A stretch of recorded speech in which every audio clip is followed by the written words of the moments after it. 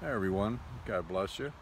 It's the day before Father's Day and I thought I would say a word related to fathers and the expression fathers and Jesus says something very stark about the use of that term in spiritual context in Matthew 23 in particular in verse 9 if you have a Bible and you want to look there. In this chapter Jesus is reprimanding the scribes and the Pharisees. It says in 23:1, Then Jesus said to the crowds and to his disciples, The scribes and the Pharisees sit on Moses' seat, so practice and observe whatever they tell you, but do not what they do.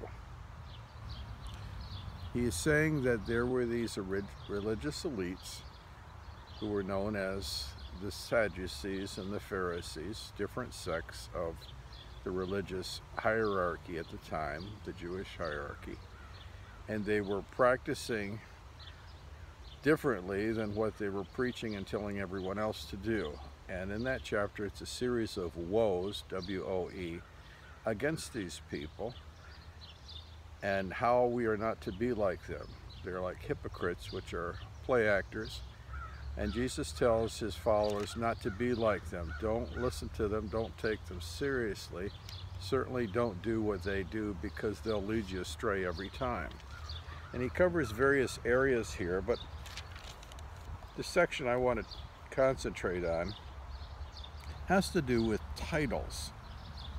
Let me back up a little bit and describe them a little further here though. In verse 5 it says, they do all their deeds to be seen by others, for they make their phylacteries broad and their fringes long. These, these were these little religious ornamentations that they liked showing off portions of scripture they would put on their forehead and on their arms so that people could see them and consider them to be very scriptural and spiritual.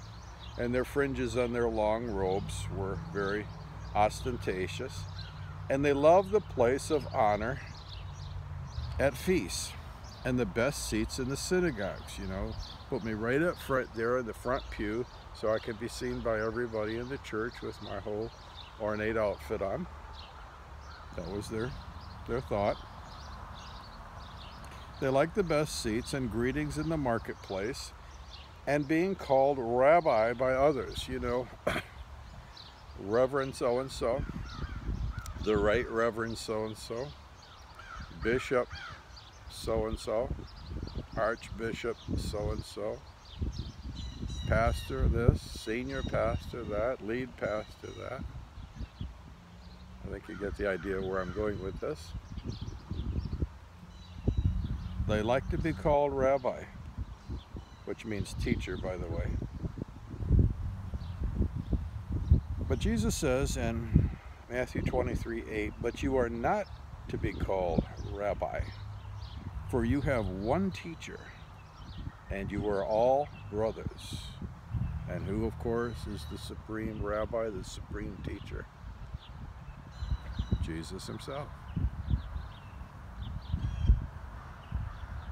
And call no man, and here we go, Father on earth, for you have one Father who is in heaven.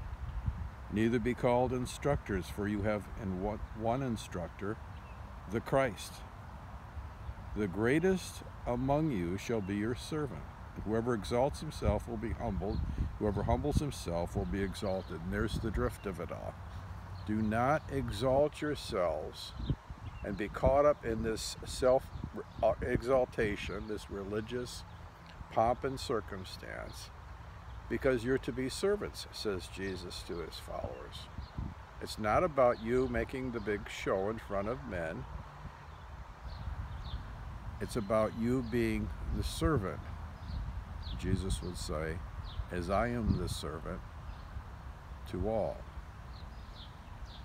Jesus said, I didn't come to be served, but to serve. And these religious clerics, again, were hung up on many things, but in particular, as I'm focusing on today, titles, religious titles, formal, ceremonial, elevated religious titles.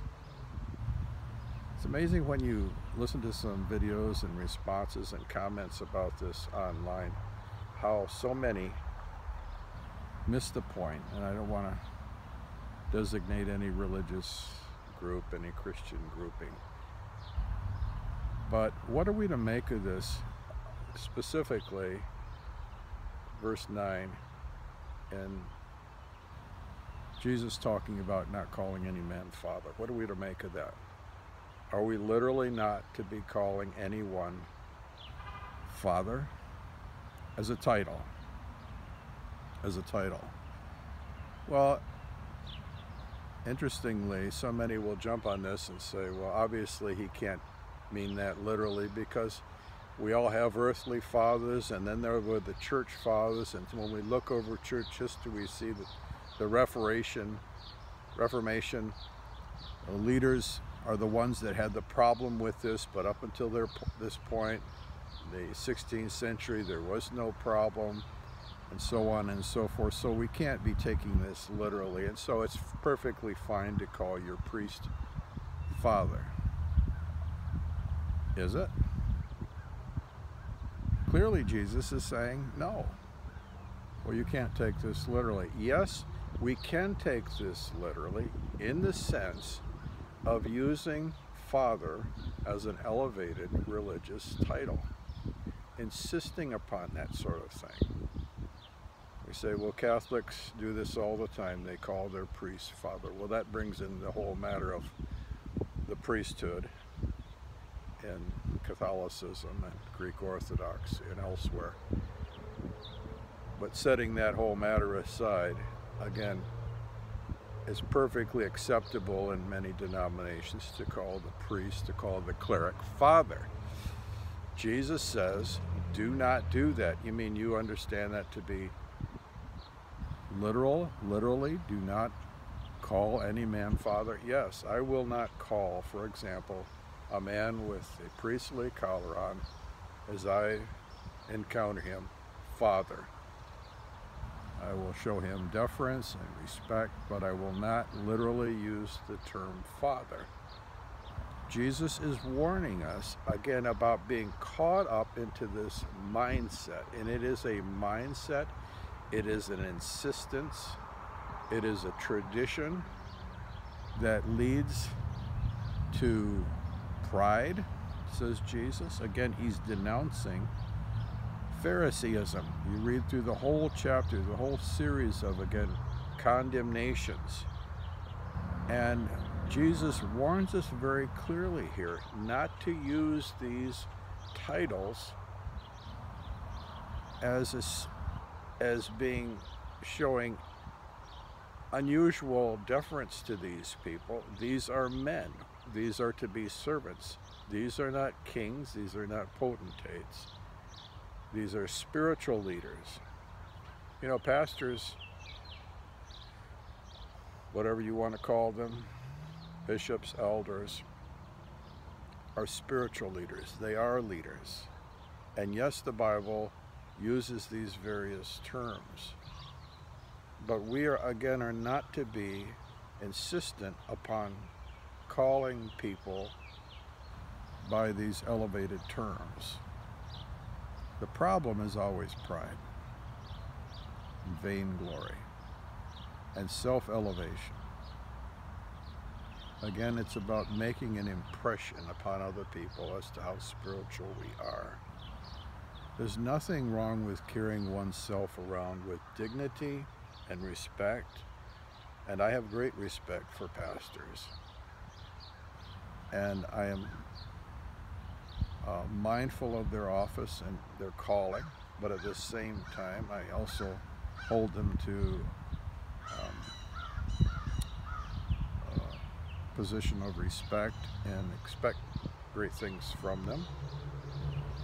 I've been a pastor for many years, but I should never insist upon calling, being called by a certain title. Paul said, I became as a father to you through the gospel. And so people say that that's in 1 Corinthians 4.15. And so some say, we see Paul himself even refer to himself uh, as a father. Yes, as a spiritual father, but not in, a, in the form of bearing some kind of title. And this is where so many trip up trying to understand and teach this passage. They say, well, see, the word father is used throughout the scriptures. Uh, Paul himself refers to refers to himself as a father, uh, and elsewhere in the scriptures. But that is being expressed relationally, not officially, and there's the rub right there. Jesus is addressing the official titles and the insistence upon, again, this kind of uh, positional respect Jesus says, no, this is unacceptable. Throw away the titles. Remember there's only one rabbi. Remember there's only one instructor. Remember there's only one Father. And don't we pray that in what we call the Lord's Prayer? Our Father who art in heaven. Certainly, relationally speaking, there are fathers. And I think of John, and he refers to those who were reading his letters as his children. He was their spiritual father, relationally. But would John insist upon being called father? I think not. So you take this literally, you take this actually. Yes, I think we're to take this literally. And I know many would disagree with that, but that's the case. Anyway, now my dog's starting up here. God bless you today. I hope there were some thoughts there for you. I welcome your comments. Peace to you.